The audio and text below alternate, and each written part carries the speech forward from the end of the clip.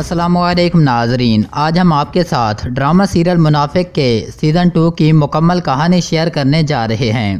Drama serial मुनाफिक के season two में आप देखेंगे कि हमदा और उजाला अपनी ज़िंदगी में बहुत खुश होते हैं और अफान को इस बात से बेखबर रखते हैं कि उसका बाप अरमान था, जो कि मर चुका है। तो दूसरी जानब आप देखेंगे कि सबिया बेगम अपनी सज़ा काटने के बाद वापस आ जाती है। लेकिन वो हमज़ा और उजाला को खुश देखकर बहुत हैरान होती है और उसके दिल में हमज़ा और उजाला के लिए शदीद नफ़रत पैदा हो जाती है और सबिया बेगम आज भी अपने पोते को हासिल करना चाहती है।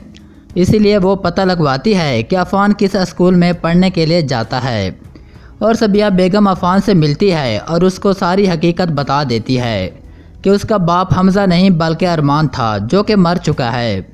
और अरमान मेरा बेटा था, मैं तुम्हारी दादी हूँ। और सबिया बेगम अफान को अपनी तरफ़ करने के लिए एक चाल चलती है और उससे कहती है कि हमजा और उजाला ने तुम्हारे बाप को कत्ल किया था, ताकि बाद में वो दोनों शादी कर सकें।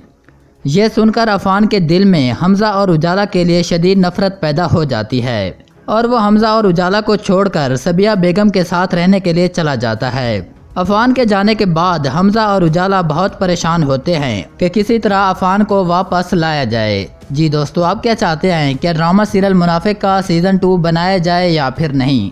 हमसे अपनी राय कमेंट्स में ज़रूर शेयर करें और वीडियो को लाइक और चैनल को सब्सक्राइब करने के साथ बेल आइकन पर ज़रूर क्लिक करें।